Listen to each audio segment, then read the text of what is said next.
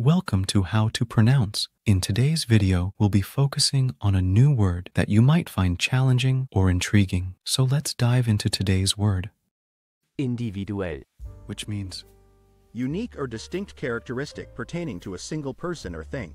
let's say it all together. individuell, individuell, individuell, One more time. individuell, individuell, individuell. Thank you for joining us on this adventure in pronunciation. Remember, language is a journey, not a destination.